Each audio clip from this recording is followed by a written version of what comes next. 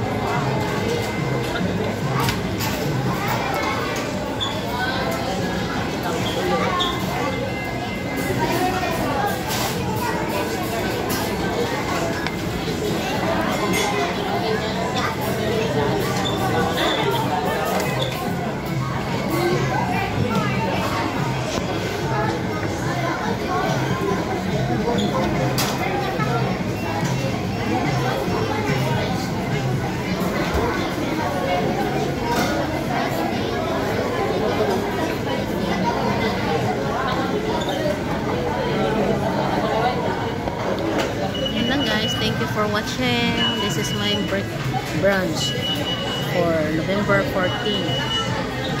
Kasi andito ako sa LTO guys. Kumuha ng SB. Yung nangyari ay nag-offline kaya kain muna ako. 1pm pa daw ang balik.